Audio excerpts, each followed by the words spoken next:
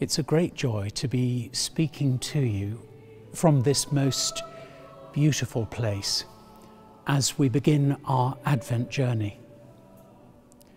Wherever you are, whatever you're facing at the moment, whether it is something good or whether it is difficult and challenging, do be assured that all of us who live, work, and pray here at York Minster stand with you in our prayers.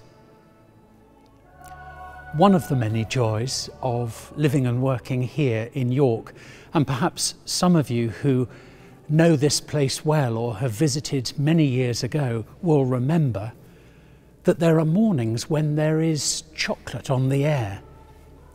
Some mornings I'll get up, walk in to the Minster, perhaps for prayers in the morning, and the smell of a very well known four part bar will be on the air. Chocolate on the air. Almost breathing in uh, chocolate. Now, for me, that's in some very small way but significant way a hint and a clue about Advent and what Christians are doing in Advent. In many respects, Christians live an in between sort of life, deeply engaged, deeply loving this world. It's science, it's literature, it's friendships, it's love, it's warmth. Uh, wanting to make the world a better place, uh, standing with those who are hungry this day and don't need to be, those who are in poverty and excluded from the enjoyment of life. The church is deeply invested in this world and in this world becoming what we pray the kingdom of God on earth, where everything we know and love about God in Christ is seen in our way with others. Christians live deep rooted in this world, but also Christians live longing for the coming of that kingdom which will bring the new age fully into play and into place. Each day we pray, Our Father in heaven, hallowed be your, your name, your kingdom come, your will be done on earth as in heaven. Christians are in between people, people who know that the new age of the kingdom has begun with the resurrection of Jesus, the overturning of death. But we are people too that know the world is not as it should be, where one mouth and one stomach remains unfed and empty. The kingdom has not yet come in all its fullness. And so we pray and we work for that day. Advent is about that the waiting and the longing and the desiring. It's a space for the hallowing of desire that God's kingdom may come and that we may play, however small, our significant part in it. So, what of the chocolate? Well, whenever I smell that chocolate on the air uh, in York, I think of the kingdom. Those who follow the way of Jesus are called people, not only in between people, but called. I've been collared, but others have been called. Called to follow him and to live his story in the detail and the warp and weft of daily life, to make the priorities of the kingdom real here and now.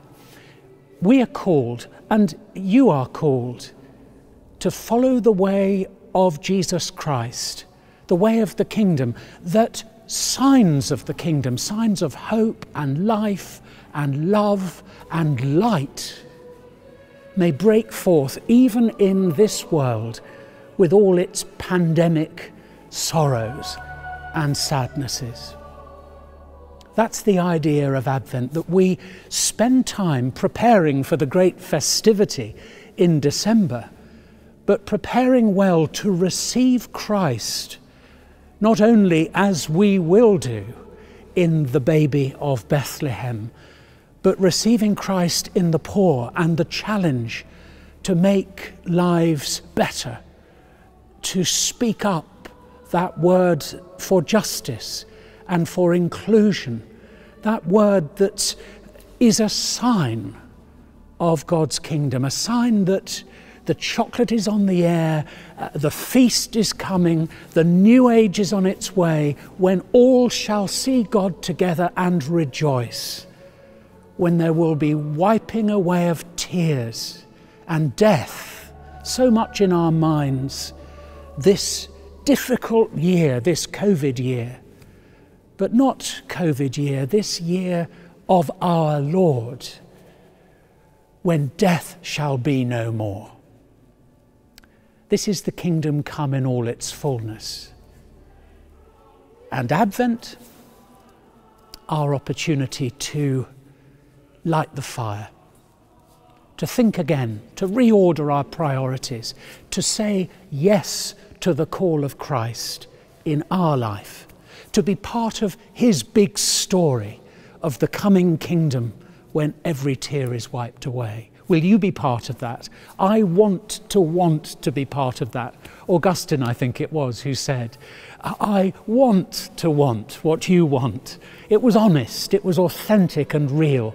And I find a lot of comfort in that. If you want to want the way of Christ in the world, the way of the kingdom, when tears are wiped, when the little ones of this world stand up and are raised, and the mighty and the powerful, well, we will have to take our place as the little ones of this world stream into God's kingdom. So be it, Lord. Come, Lord. This is the cry, this is the prayer, this is the hope of Advent.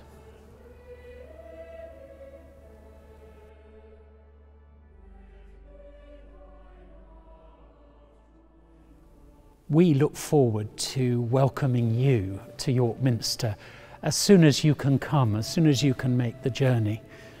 And we do feel that uh, we miss each other, don't we, uh, in this time of restriction and limited travel. Please do join us. We've provided many offerings online through our website, yorkminster.org. Um, do check us out there. There are resources to encourage you in prayer, some beautiful music, uh, some offerings for Advent, and when it comes, for Christmas. So do please make your way with us. But whether you do that or whether you make your way with Jesus Christ in other places or in other ways, know that we pray for you and we ask for God's richest blessing to rest upon you. Thank you.